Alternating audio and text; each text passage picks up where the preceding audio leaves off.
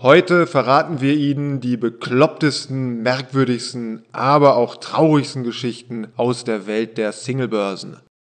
Bei unserer Nummer 7 wird's gleich mal schwarz-weiß, denn es geht um die ersten Versuche der Menschheit, dass der Computer den perfekten Partner ausrechnet. 1956 motivierte der Amerikaner Art Linkletter 4000 Singles einen Persönlichkeitsfragebogen auszufüllen. Die Daten stopfte er in eine eine Million Dollar teure Rechenmaschine und ermittelte John und Barbara als das Traumpaar. Die beiden lernten sich live in einer Fernsehshow kennen und haben auch tatsächlich geheiratet.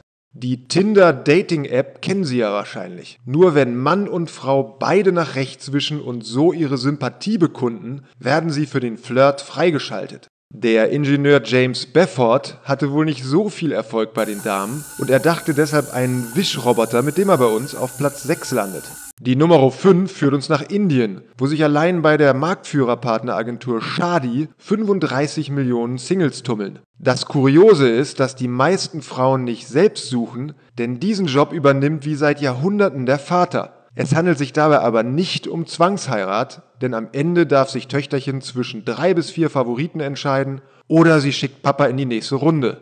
Die Nummer 4 der skurrilen Dating-Fakten geht an die Amish People, ein Völkchen in den USA, das aus religiösen Gründen alle modernen Errungenschaften wie Jeans, das Auto oder Fernsehen ablehnt. Ausgerechnet diese Amish People sind begeisterte Singlebörsennutzer und haben gleich mehrere eigene Online-Dating-Portale am Start. Sehr merkwürdig.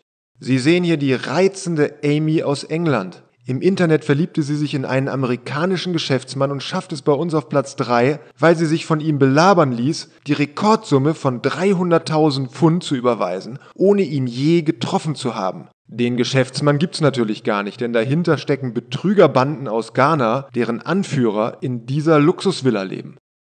Auch Platz 2 ist eher traurig und betrifft Ashley Madison, die größte Seitensprungagentur der Welt. Hacker hatten im Sommer 2015 insgesamt 32 Millionen komplette Datensätze von Fremdgängern veröffentlicht, darunter auch Hunderte von Mitarbeitern aus dem Weißen Haus, dem US-Geheimdienst und von führenden Kirchenmännern, die teilweise auch noch bedenkliche sexuelle Vorlieben angaben. Besonders tragisch ist, dass zwölf Menschen Selbstmord begingen, um ihrem Outing zu entgehen.